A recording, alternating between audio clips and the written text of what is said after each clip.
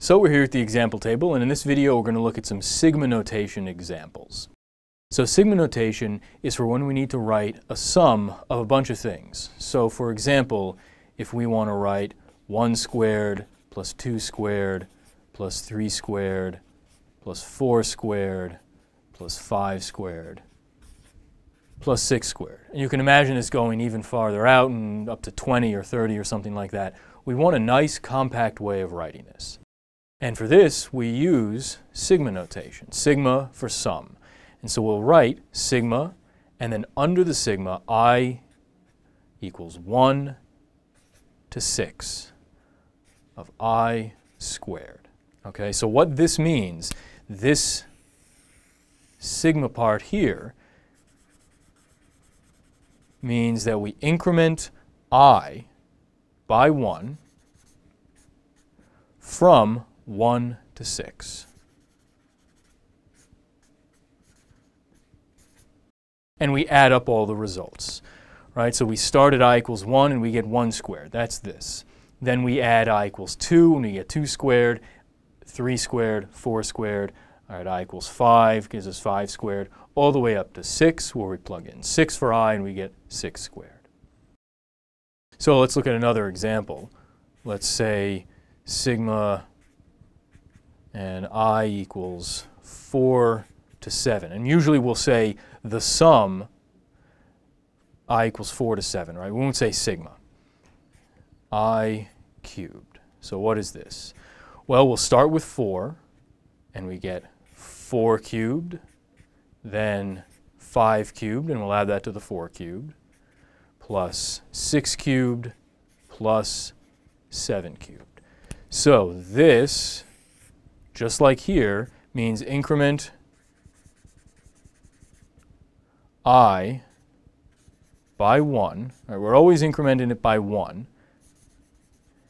And now we're starting at 4, and we're going to 7. Okay, let's look at another example.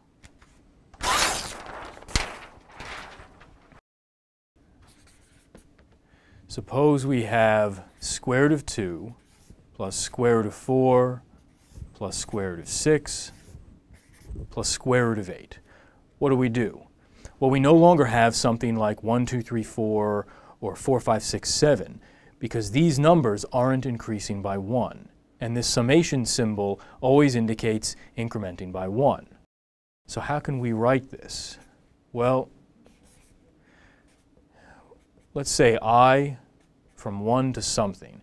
We can't just put i in here because the first thing we want is a 2. But notice the next thing is 2 more than 2, and the next thing is 2 more than 4, and then the next thing is 2 more than 6. So we're incrementing by 2, and to get an increment by 2, we'll just multiply i by 2. Right, so 2i gives us 2, 4, 6, 8, 10, 12, and so on. And so we'll throw a square root there, and we're going up to 8, so we want the top to be 4. Right, so i equals 1 term gives us the 2, i equals 2 gives us 4, 3 gives us 2 times 3, which is 6, 4 gives us 2 times 4, which is 8. And you can do this, you can use this notation for things that don't look very pretty, so we could have something like sine of 9 plus sine of 10 plus sine of 11 plus sine of 12. This is the sum from i equals 9 to 12 of sine of i. Right? Now, what if we have something like this? So if all we have is a 1, and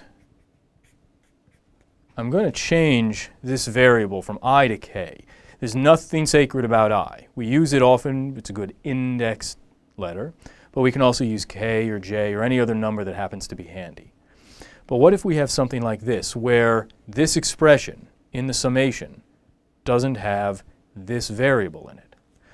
Well, the general idea behind this is this part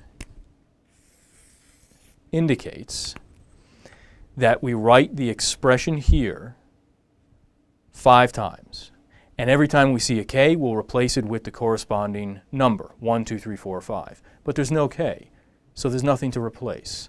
So this is simply the sum of 5 copies of 1. So this is 5.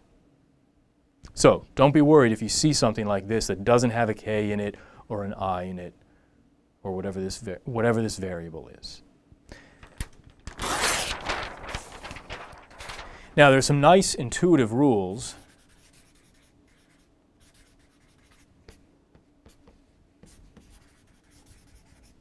for manipulating sums like this. And it's, and it's nice because they're even better than, than the similar limit rules uh, because we don't have anything infinite going on. So for example, the sum from i equals 1 to n of k times a sub i, where k is a constant and a sub i is some expression, possibly involving i. Well, we can factor this constant out front. So this is equal to k times the sum from i equals 1 to n of a sub i. And similarly, if we have the sum from i equals 1 to n of a sub i plus b sub i, well then we can split this up into two summations. This is the same as the sum from i equals 1 to n of a sub i plus the sum from i equals 1 to n of b sub i.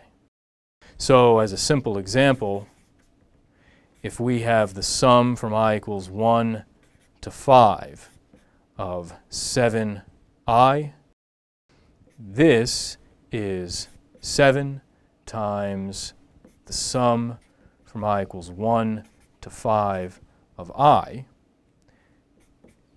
And this is 7 times 1 plus 2 plus 3 plus 4 plus 5. This thing in parentheses here is equal to 15. since 7 times uh, 15 is 105.